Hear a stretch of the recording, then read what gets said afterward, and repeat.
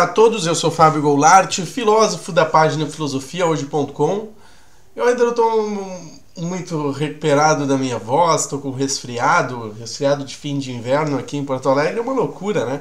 O tempo muda, de manhã é inverno, de tarde é verão, de noite é primavera, sei lá, cara.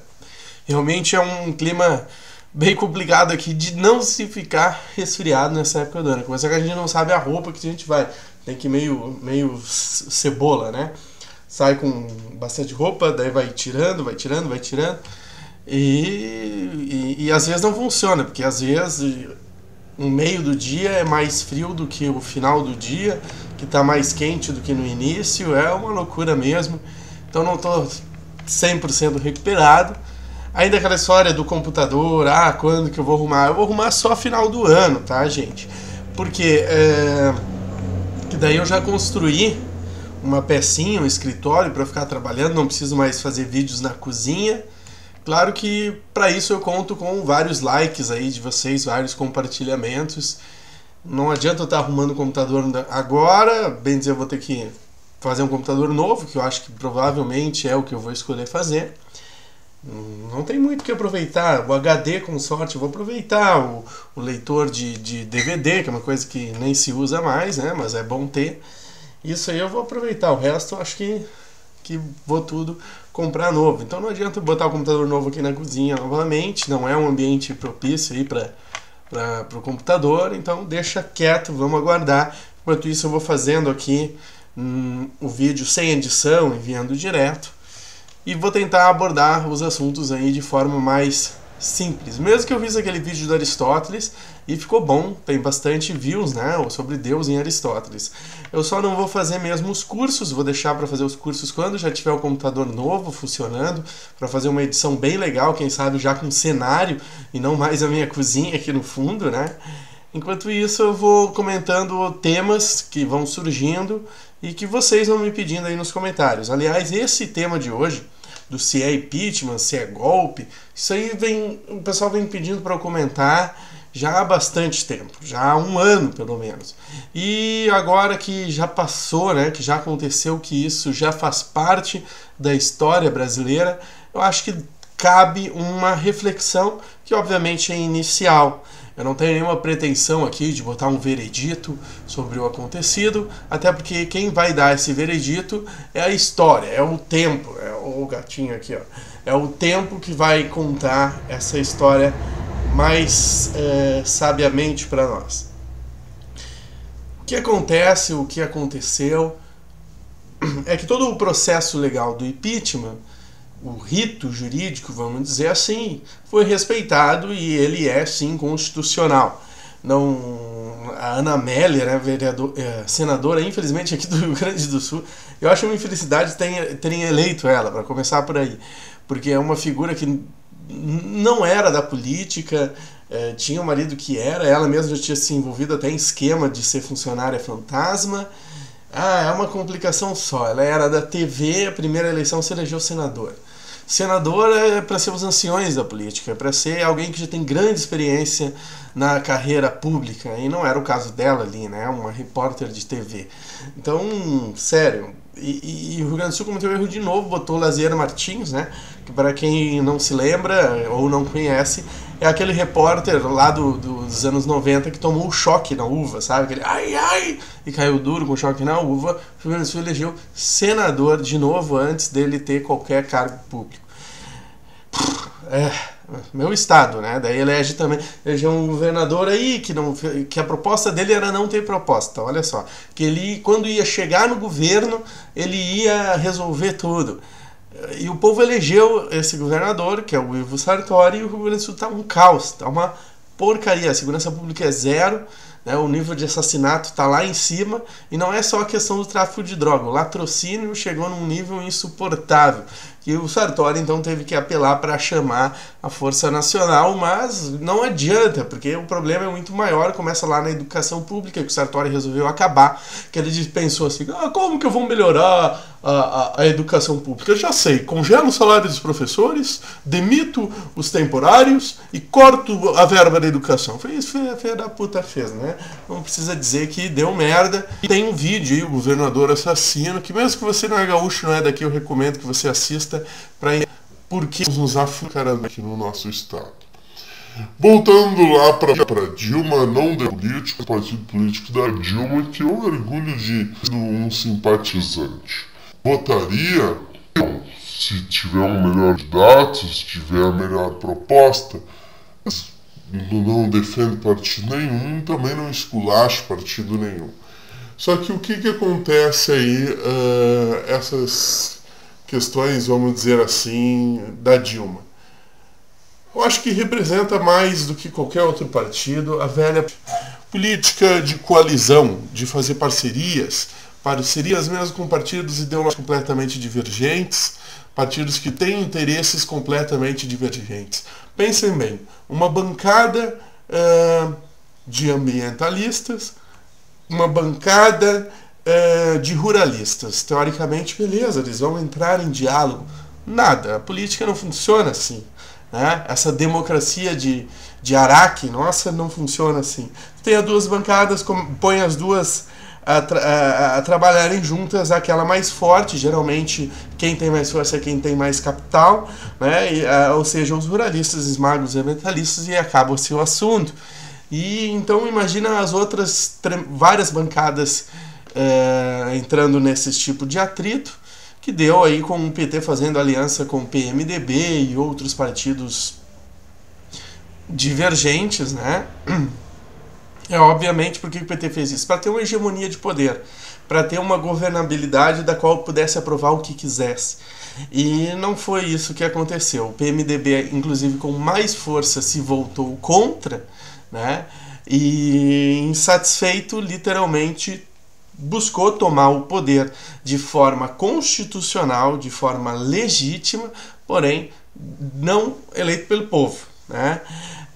O Noam Chomsky, né, Noam Chomsky, filósofo americano, ele caracteriza esse tipo de atitude como golpe. Né? Então, embora eu sei que tem gente que não gosta dessa nomenclatura, que quer usar um nome mais fofinho, um nome mais cheiroso, é, a gente pode dizer sim que é golpe, essa não é uma retórica, não é um, um, argumento furado, não, ele tem base histórica, tem base filosófica, a gente pode dizer sim que sofremos um golpe. Porém, foi constitucional? Foi. E isso mostra a fraqueza da nossa Constituição. Nossa Constituição, que é rica em artigos, né? temos muitos direitos ali constitucionais garantidos, mas é, abre precedente para isso, né? para o partido mais forte tomar o poder de forma jurídica, né? de forma constitucional. Eu tô, eu tô olhando para aqui porque o gatinho ele resolveu não deixar eu gravar. Esse gatinho aqui é um, um, um gatinho novo, filho da, de uma gata que a gente, a gente pegou na rua, né? E tá bem, tá bem bonito, bem faceiro. É Rantar o nome dele, mas eu acho que é J. Eu acho ele J, que ele tem um J na cara, ó. A mancha branca dele em formato de J, ó. É... Gente, quanto ao crime que a Dilma teria cometido, a quebra da lei da responsabilidade fiscal. Olha, eu acharia maravilhoso se todos os prefeitos e governadores que não respeitassem a lei de responsabilidade fiscal também perdessem seus cargos, também fossem, vamos dizer assim, impeachmentados. Seria perfeito se começasse pela Dilma e todos os outros prefeitos, governadores, políticos com má gestão, com irresponsabilidade fiscal, fossem imediatamente cassados. Eu acharia perfeito. Mas não foi o que aconteceu. Né? Muito pelo contrário, inclusive, alguns dias depois da cassação da presidente, é, já começou a circular a lei no Senado alterando a lei de responsabilidade fiscal.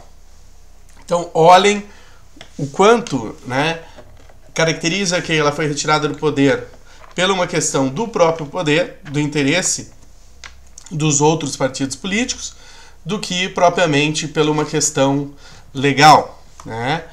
Além disso, cara, né, até agora saiu a frase não tem provas, mas tem convicções. O, o, o, direito, enquanto ciência, não pode trabalhar com convicções, tem que trabalhar com provas.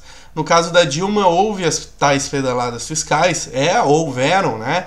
Houve abuso do, do uso do, dos, dos bancos públicos, do dinheiro do banco público para maquiar as contas públicas antes da eleição, houve. E isso foi muito grave porque foi uma eleição que se decidiu com 2%, 2 dos votos, né? Se não me engano, ou até menos do que isso. Foi 2 um, milhões de votos. Que talvez se as contas públicas não tivessem sido maquiadas lá em 2014, o resultado da eleição talvez fosse diferente. Mas olha só, o talvez, hipotético, hipotético, hipotético. O direito, enquanto ciência, não pode trabalhar com, com tantas hipóteses, né? Ele tem que trabalhar com concretude da prova, o que já seria algo um pouco problemático. Mas, particular, particularmente, eu acho que sim, o, a Dilma e o PT cometeram esses erros, erros gravíssimos administrativos, e se a lei prevê o impeachment, prevê a perda de cargo, o impeachment aconteceu, é, vamos dizer assim, de forma legal. A grande questão é que, como eu disse, eu só, vamos dizer, é, afirmaria isso se começasse a cair um monte de prefeito e governador, também responsáveis fiscais, e não é o que a gente vê. Aliás, eu gostaria muito que começasse caindo aqui o governador do Rio Grande do Sul. Ou não, porque o vice dele é uma figura ainda pior, é um latifundiário que chegou a afirmar certa vez, se não estou equivocado, não quero cometer gafes aqui, mas você pode pesquisar o tal Kailori, agora não consigo nem pronunciar o nome do cara. É, chegou a falar alguma coisa como que na, na fazenda dele não existia lei trabalhista. Alguma, eu vi esse rumor circulando aí. Né? Não, não fui atrás, mas eu sei que não é uma figura também muito, vamos dizer, simpática com as causas populares. Vamos dar sequência aqui para análise. Então, impeachment é, foi constitucional. É, eu acredito realmente que crime de responsabilidade fiscal deveria caçar é, políticos, só que isso é um faz de conta, Dilma não caiu por isso não, senão teria que cair um monte de prefeito, um monte de governador. É, a Dilma caiu aí pelo interesse do PMDB de tomar o poder e já tomou. Quais os rumos, o futuro, o prognóstico que eu tenho para o Brasil é nenhum, tá? Porque eu sou filósofo, eu não sou astrólogo, eu não faço previsão do futuro. Aliás, astrologia é pseudociência, né? Para quem não sabe. E quando um astrólogo resolve fazer filosofia e ciência, é, não acreditem. Ele é capaz de falar, né, que Pepsi Cola é adoçada por fetos e esse tipo de coisa. Então, eu que não vou me aventurar na astrologia para falar coisas de futuro, do que vai acontecer, do que não vai acontecer. O que eu posso dizer é que aí vem o momento reflexivo e propriamente filosófico do vídeo, né? Uh, tudo isso que já aconteceu mostra uma grande fragilidade na nossa política, na nossa democracia. Aliás, eu vendo as eleições agora, o candidato aqui de Porto Alegre que representa o governador Sartori, que está fazendo todas essas cagadas aqui, que tem afundado o nosso estado, uh, vem do nada, mas é o que tem mais tempo de, de, de campanha na TV, ele é o que tem a musiquinha mais bonita e já está subindo nas campanhas e é capaz de ganhar. Então é uma democracia que o poder econômico, o poder de propaganda eh, manipula a opinião pública descaradamente. Então é uma democracia frágil. Além do povo ser manipulado, né, os próprios políticos são comprados por interesses, fazem suas alianças por interesses e querem poder, querem cargo, pouco querem com realmente mudar, mudar o país. Tem uns que até são muito bem intencionados, que fazem um bom serviço lá, mas não querem mudar, querem manter do jeito que está mas manter funcionando. Não, não, não pode ser assim. A gente sabe que a gente precisa de mudanças profundas é, e, e, e do jeito que está é inaceitável. Né? A nossa democracia se mostra completamente corrompida. E não adianta dizer, ah, os políticos são corruptos. Não, os políticos são corruptos porque representam um povo que é corrupto, que tem grandes problemas étnicos, aliás, que nem sabe o que é ética, né? E, e ainda volta e meia surge alguém querendo cortar ou reduzir a carga horária de filosofia no ensino médio, que já quase não existe. Né? É a carga horária mínima, que temos em 90% das escolas, e ainda querem fazer projetos de tirar, como se isso fosse melhorar alguma coisa, mas isso é assunto para outro vídeo. Eu sei pode ter muita coisa ficado confusa aqui, então deixamos aberto o espaço dos comentários e um, como eu classificaria tudo o que aconteceu. É um processo constitucional, mas foi um golpe aí para que o PMDB tome no poder, golpe no sentido do Noam Chomsky, né? Uh, se houve algum erro no processo, claro, o erro maior é o fato de prefeitos e governadores não serem caçados pelo mesmo assunto, né? Mas tem uma questão também que eu achei meio estranha. Não sou nenhum especialista em direito, mas conheço muitos amigos que são. Me disseram que isso realmente foi estranho, que foi o fato de desmembrarem o processo. Uma votação pelo impeachment, uma votação para a cassação dos direitos políticos da Dilma. Do impeachment, deu impeachment. E a da cassação, não deu cassação. Se considerou, de certa forma, que a, a Dilma é inocente, mas que a Dilma é culpada. Não entendi mais nada aí.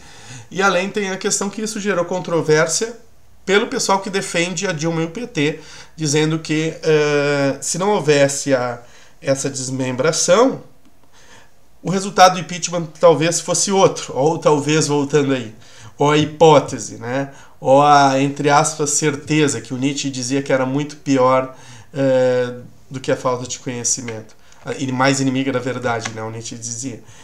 E o pessoal que é contra Dilma, contra o PT, diz, dizia que isso juridicamente era errado, porque juridicamente se perde um, o, o mandato, perde também os direitos políticos. Então, só abre precedente para um monte de coisa, né? E que, bom, daí foge um pouquinho do meu entendimento. Vocês podem procurar alguns canais jurídicos. Eu vi um, acho que é do Jovem Jurista, muito bom que dava toda essa explicação aí, tá? Se você ainda não é inscrito no canal Filosofia Hoje, se inscreva quer colaborar, enriquecer aqui o debate, fica à vontade aí nos comentários. Eu leio absolutamente todos os comentários. Não comento todos, né? Comento aqueles é, realmente interessantes, realmente respeitosos. Mas ler, você pode crer que eu leio absolutamente todos, tá? Se ainda não é inscrito, se inscreva e aquela força com o joinha. Vamos tentar fazer aí um, para essa primeira semana um, um 100 joinhas, umas 100 curtidas. Não tanto pelo. Ah, ah, vou dar joinha só se eu concordei com o que ele falou. Não, ali não é concordei, ali é gostei, né? Achei interessante, que bom que você fez esse vídeo. Daí você dá o joinha. Se não concordou, você coloca no comentário, tá? Obrigado, valeu e até a próxima!